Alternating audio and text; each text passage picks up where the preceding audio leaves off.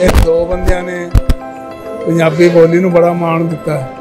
ਇੱਕ ਮਾਨਕ ਨੇ, ਇੱਕ ਸ਼ਿੰਦੇ। ਉਹਦੇ ਜਾਣ ਨਾਲ ਕੌਮ ਨੂੰ, ਪੰਜਾਬ ਨੂੰ ਬੜਾ ਘਾਟਾ ਪਿਆ। ਜਦ ਹੀ ਇੰਨੀਆਂ ਨੇ ਸਵਾ ਸਵੇਰ ਤੋਂ ਸ਼ਾਮ ਤਾਈਂ ਪੂਰੀਆਂ ਨਹੀਂ ਹੋਣੀਆਂ। ਜ਼ਿੰਦਗੀ ਯਾਦ ਰੱਖਾਂਗੇ, ਜਿੰਨਾ ਚਿਰ ਅਸੀਂ ਮਰਦੇ ਨਹੀਂ, ਉਹਨਾਂ ਚਿਰ ਉਹ ਸਾਡੀਆਂ ਦਿਲ ਦਿਮਾਗ ਛਾਇਆ ਰਹੂ। ਜੀ, ਜਿੱਥੇ ਲੁਧਿਆਣਾ ਦੇ ਵਿੱਚ ਸ਼੍ਰੋਮਣੀ ਵਿਧਾਇਕ ਸੁਰਿੰਦਰ ਸ਼ਿੰਦਾ ਜੀ ਦੀ ਅੰਤਿਮ ਅਰਦਾਸ ਕੀਤੀ ਜਾ ਰਹੀ ਹੈ, ਉੱਥੇ ਹੀ ਮਾਨ ਸਿੰਘ ਗਰਚਾ ਜੋ ਕਿ ਉਹਨਾਂ ਦੇ ਪੁਰਾਣੇ ਸਾਥੀ ਰਹੇ ਨੇ, ਕਿਸੇ ਟਾਈਮ ਉਹ ਪਹੁੰਚੇ ਨੇ। ਗੱਲਬਾਤ ਕਰ ਲੈਣੇ ਗਰਚਾ ਸਾਹਿਬ, ਕਿਵੇਂ ਦੇਖਦੇ ਹੋ ਕਿ ਕਿਸੇ ਟਾਈਮ ਤੁਸੀਂ ਸਿੰਧ ਨਾ ਬਾਹ ਵਾਸਤਾ 1967 ਸ਼ੁਰੂ ਹੋਇਆ। ਉਦੋਂ ਛੋਟਾ ਜਿਹਾ ਸੀ ਸ਼ਿੰਦਾ 10 12 ਸਾਲ ਦਾ। ਇਹ ਘੰਟਾ ਘਰ ਕੋਲੇ ਤੇ ਚਵਾਰਾ ਸੀ। ਉਹ ਤਾਂ ਜਸਵੰਤ ਭਮਰਾ ਸੀਗਾ। ਉਹਦੇ ਕੋਲੇ ਗਾਉਣਾ ਸਿੱਖਦਾ ਸੀ। ਜਸਵੰਤ ਭਮਰਾ ਸਾਡਾ ਦੋਸਤ ਸੀ। ਅਸੀਂ ਉਹਦੇ ਕੋਲੇ ਬਹਿੰਦੇ ਹੁੰਦੇ। ਇਹਨੂੰ ਫਿਰ ਕੰਨੋਂ ਫੜ ਕੇ ਅਸੀਂ ਗਾਉਣ ਲਾ ਲੈਣਾ। ਐਡਾ ਸੀ। ਬਹੁਤ ਘਾਟਾ ਪਿਆ। ਉਹਦੇ ਜਾਣ ਨਾਲ ਕੌਮ ਨੂੰ, ਪੰਜਾਬ ਨੂੰ ਬੜਾ ਘਾਟਾ ਪਿਆ। ਬੜਾ ਵਧੀਆ ਬੰਦਾ ਸੀ। ਕਿਤੇ ਨਾ ਕਿਤੇ ਇਹਨਾਂ ਨੇ ਹ- ਹਮੇਸ਼ਾ ਪੰਜਾਬੀ ਮਾਂ ਬੋਲੀ ਨੂੰ ਲੈ ਕੇ ਪੰਜਾਬੀ ਗਾਇਕੀ ਨੂੰ ਲੈ ਕੇ ਬੜਾ ਹੀ ਇੱਕ ਅਲੱਗ ਤੋਂ ਕਰੇਜ਼ ਦਿਖਾਇਆ ਸੀ। ਲੋਕਾਂ ਨੂੰ ਹਮੇਸ਼ਾ ਕਹਿੰਦੇ ਸੀ ਪੰਜਾਬੀ ਗਾਓ ਪੰਜਾਬੀ ਵਿਰਸੇ 'ਚ ਰਹਿ ਕੇ ਗਾਓ। 55 60 ਸਾਲ ਦਾ ਬਾਹ ਵਾਸਤਾ ਬਹੁਤ ਕੁਝ ਹੋਇਆ। ਅਸੀਂ ਜੇਲ੍ਹਾਂ ਜੁਨਾ 'ਚ ਵੀ ਰਹੇ ਹਾਂ।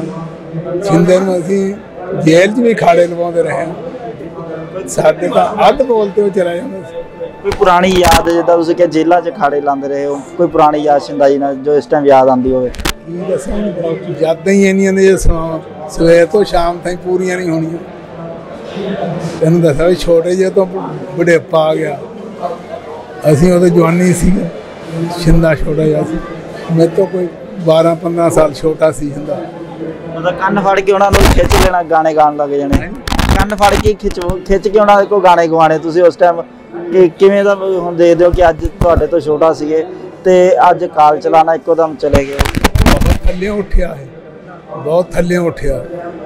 ਗਰੀਬ ਘਰ ਦਾ ਮੁੰਡਾ ਸੀ। ਇੰਨਾ ਵਧੀਆ ਸੁਭਾਅ ਸੀ ਇਹਦਾ, ਇੰਨਾ ਵਧੀਆ। ਸਾਨੂੰ ਚਾਹ ਕਰਕੇ ਵੀ ਪਿਲਾਉਣਾ ਹੁੰਦਾ। ਉੱਥੇ ਕਮਰੇ ਦੇ ਦਫ਼ਤਰ 'ਚ। ਉਹਦਾ ਚਲਿਆ ਆ ਆ ਹੁਣ ਵਿਛੜਿਆ ਸਾਥ ਇਹਦੀਆਂ ਜੇ ਆਪਾਂ ਗੱਲਾਂ ਕਰੀਏ ਗਾਉਣ ਵਾਲੇ ਆਮ ਨੀਂਦ ਦੇ ਮਾੜੇ ਹੁੰਦੇ ਨੇ। ਇਹ ਬਹੁਤ ਵਧੀਆ ਨਹੀਂ ਇਹ ਜੇਬਾਂ ਨਹੀਂ ਦੀ ਕੱਢਦਾ ਕਿਸੇ ਨੂੰ। ਕਿਵੇਂ ਦੇਖਦੇ ਪੰਜਾਬੀ ਮਾਂ ਬੋਲੀ ਨੂੰ ਕਿੰਨਾ ਕੁ ਘਾਟਾ ਲੱਗਿਆ? ਪੰਜਾਬੀ ਵਿਰਸੇ ਨੂੰ ਕਿੰਨਾ? ਇਹਨੇ ਜੀਵਨਾ ਮੌੜ ਅਮਰ ਕਰਤਾ। ਇਹਨੇ ਇੰਨੀਆਂ ਵਧੀਆ ਇਹ ਦੋ ਬੰਦਿਆਂ ਨੇ ਪੰਜਾਬੀ ਬੋਲੀ ਨੂੰ ਬੜਾ ਮਾਣ ਦਿੱਤਾ। ਇੱਕ ਮਾਨਕ ਨੇ। ਇੱਕ ਸ਼ਿੰਦੇ।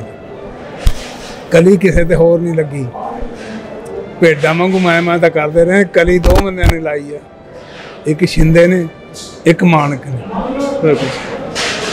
ਤਾਂ ਹੀ ਅੱਜ ਸ਼੍ਰੋਮਣੀ ਗਾਇਕ ਦਾ ਅਵਾਰਡ ਮਿਲਿਆ ਇਹਨੂੰ। ਬਾਕੀ ਤਾਂ ਛੱਡੋ ਉਹਦਾ ਸੁਭਾਅ ਬਹੁਤ ਵਧੀਆ ਸੀ ਗਾਉਣ ਵਾਲਾ ਨਹੀਂ। ਦੋਸਤਾਂ ਦਾ ਦੋਸਤ, ਮਿੱਤਰਾਂ ਦਾ ਮਿੱਤਰ, ਦੁੱਖ ਸੋਚ ਕੰਮ ਆਉਣ ਵਾਲਾ, ਇਹੀ ਹੁੰਦਾ ਇਨਸਾਨ ਦਾ।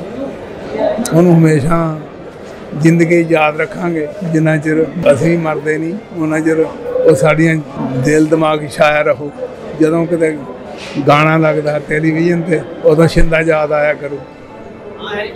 ਮੈਂ ਉਸ ਰੰਗਲੇ ਸੱਜਣ ਨੂੰ ਹਮੇਸ਼ਾ ਯਾਦ ਰੱਖਾਂਗਾ। ਮੇਰੇ ਤਾਂ ਭਰਾ ਵੀ ਸੀ, ਮੇਰਾ ਪੁੱਤ ਵੀ ਸੀ। ਤੇ ਜਿਸ ਤਰੀਕੇ ਨਾਲ ਜਿਸ ਤਰੀਕੇ ਨਾਲ ਪੁਰਾਣੇ ਸਾਥੀ ਨੇ, ਉਹ ਹਮੇਸ਼ਾ ਹੀ ਉਹਨਾਂ ਨੂੰ ਹੁਣ ਯਾਦ ਰੱਖਣ ਦੀ ਗੱਲਾਂ ਕਹਿ ਰਹੇ ਨੇ ਤੇ ਜਿਸ ਤਰੀਕੇ ਨਾਲ ਯਾਦ ਰੱਖਿਆ ਜਾਊਗਾ ਤੇ ਹੁਣ ਉਹਨਾਂ ਨੂੰ ਯਾਦਾਂ ਦੇ ਵਿੱਚ ਯਾਦ ਰੱਖ ਲੁਧਿਆਣਾ ਤੋਂ ਕੈਮਰਾ ਪਰਸਨ ਗੁਰਮੀਤ ਬੁਲਾਰਾ ਦੇ ਨਾਲ ਅਭਿਸ਼ੇਕ ਜਲੋਟਾ ਸਮਝਾਣੀ ਲੁਧਿਆਣਾ।